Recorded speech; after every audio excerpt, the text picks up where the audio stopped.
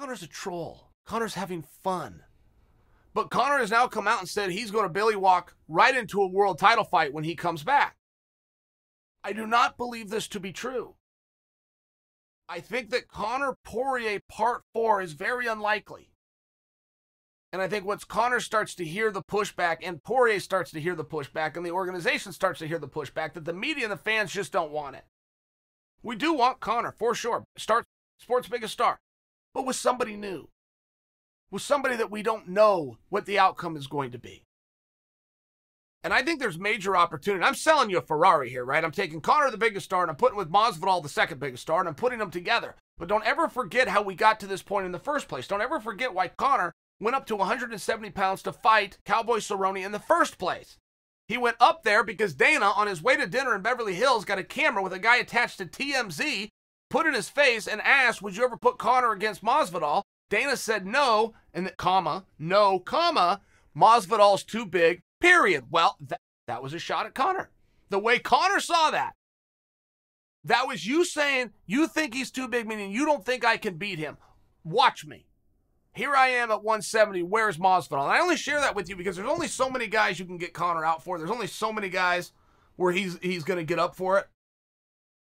Masvidal's one of them, and Masvidal's got a belt. I can't tell you how frustrating I am to have to hear that Masvidal's not the BMF champion. Yes, he is. I watched him win it. I saw The Rock put it around his waist. Big, beautiful gold belt. And nobody's taken it from him. That means he's a champion. Do you understand how that works? You win something, if you don't ever lose it, you're still in. I mean, do, do you get that? Do I need to start at the beginning? Okay, let's start at the beginning. Do you know what the UFC is? It is a fight promotional company located in southern Nevada. Like, are, are we there? Do we have our critical thinking hats on? May I move on from here? Masvidal is the champion. He's the BMF champion. That means something. And that belt has everything except lineage. It should have a lineage. If I was Usman, I would have made him put that belt up. Period. I bring mine, you bring yours. I leave with it all.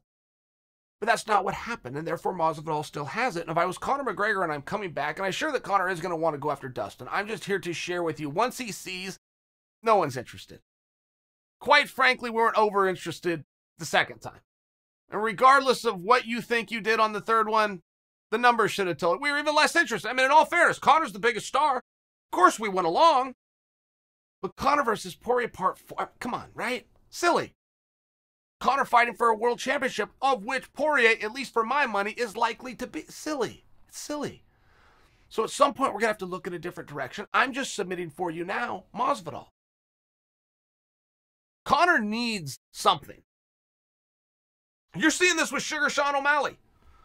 You're seeing guys who are big stars that don't have the ranking, that aren't going to be able to get in there with the champion or the top contender, but can definitely do some damn good business. And by the way, Conor is one hell of a fighter. Forget that he lost to Poirier. Poirier beats everybody. Conor went out there and competed with him. Conor's a damn good fighter. When I put Conor down in comparison to Poirier, that's what we've that's what we've learned, right? In the last two fights.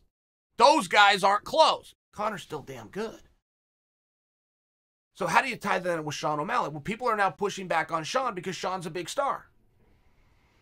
So they're willing to put their rankings up against Sean. They're willing to put their contenderships up against Sean. They're, they're acting as though they're trying to bring him down. No, he's got what they want. He has the placement. Sean has something way more powerful than some unnamed guy or group that turns in rankings every Tuesday by 8 a.m. Okay? He has placement on the card. So now you got all these rank guys jerking the curtain trying to get on the docket with Sean. Sean's looking at him going, Where were you guys when I needed you? I've always wanted to fight contenders. I've always wanted to have championship matches. I've asked all you guys for the opportunity, and none of you gave it to me. Now you're acting as though you're going to, you know what? I'm going to keep fighting unranked guys. I don't have a ranking. Why should I have to fight somebody ranked? It's a perfect argument by Sean. Now, I understand all he's doing is trolling. I'm well aware that Sean is going to have to start fighting the big names. I'm well aware. The Ricky Simons, the Rob Fonts, these guys are coming. I'm well aware, but I'm still talking about public perception because I've seen Sean have to go out and defend his position. Sean has nothing to defend. Nothing. You get these guys that come, oh, I'm a tough guy and I'll fight anybody. Well, that's not true. You'll fight anybody that's got a beautiful ranking. You'll fight anybody that can get you more money. You can fight anybody who's a meaningful favorite so you have no pressure on you. You'll fight anybody if it's on the top of the bill and you're going to do the media tour. That's not anybody. That's somebody who brings a lot to the table. It sounds like a lot more than you do. Anybody is what Sean will do. Yes, he will fight Rob Font. He'll also fight somebody who's yet to be signed to the organization. That's a guy that'll fight anybody. To hell with not having pressure. Put all the pressure on me. Pays the same. Let me know when my music hits. That's Sean O'Malley. That's Sean O'Malley. But Conor, in many ways, is the same way. Look, there's guys Conor can't beat. That wasn't true a few years ago. Conor could beat anybody in two different divisions. There's now guys that he can't beat. Okay. But if you want on the docket with him and he's willing to get in there with you, much like Sean O'Malley, meet me halfway. Meet me halfway. Because you can bring all of your fundamentals all of the competitive architecture that you wish is the way this sport ran. And you could make a pretty compelling case, historically speaking, that you're right. That, of course, would be be better than everybody else and win a whole bunch of fights. Keep my head down, do what's asked of me, and work my way up to a title shot. You would have plenty of examples throughout history where you could bring it.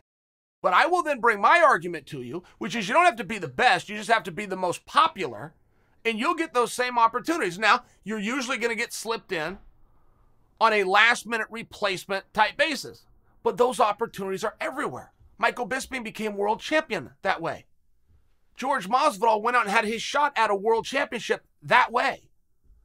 On a last minute replacement, they do not go by the rankings. They go by who is the most popular, who can step in and save the day when a card just got broken apart. So if you want to be in there with a Sean O'Malley or a Conor McGregor, meet them halfway. Sean's not afraid to fight any of you guys. And I don't I don't like that Sean's having to go out on the defensive and explain himself. If you're explaining you're losing and Sean's winning, Sean is winning. Sean has something the rest of them want. Placement, notoriety, attention, built-in media tours, posters, countdown, interviews. So if you want those things, meet him halfway. Be of a level of interest that takes Sean from main card to main event. Offer him something. Have you ever thought of doing that? Go out there and make yourself interesting. You ever thought of doing that? Well, Sean gets all the media opportunities. Well, do you watch them? Because as soon as you get done, Google it, find a contact info, write the host, and tell him that. You just had Sean on. Sean mentioned my name. I would like to come on and say my piece. These guys all want to sit around and wait. and They want to have it done for them. Leon's in a fight right now that Leon is eh, is not thrown a punch. He hasn't even wrapped his hands. I can't understand that.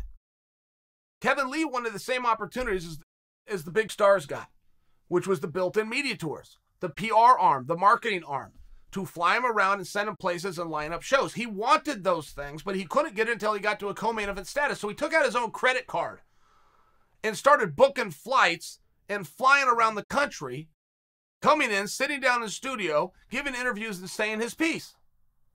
When that tour was over, the one that he thought of in his head, the one that he paid for with his own money, when that tour was over, he had a contract waiting for him at home to fight for a world championship. You can take in matters into your own hands, or you cannot. One of them is going to give you a little bit of say, a little bit of pull, a little bit of opinion sharing, in where your career is going to go, and the other one is going to blow in the wind. Guys, those people are very dangerous. You, if you ever meet a guy that it is what it is, you ever heard that? And there's a number of ways of saying it is what it is. Don't just think of our own Max Holloway. But uh, people say well, everything happens for a reason. You, you hear these types of things. Those people are very dangerous. Be very careful being around them. Because that is not somebody that you can now motivate. That is somebody that you can you cannot now direct, you cannot work with, you cannot encourage. Whatever is going to happen is already predetermined. It's going to happen. They are just blowing in the wind, and they're okay with it. They came up with a little slogan to share their uncompetitive adage with you. It is what it is. No, no, no, no. It is what I say it is. I'm the boss, even after a loss.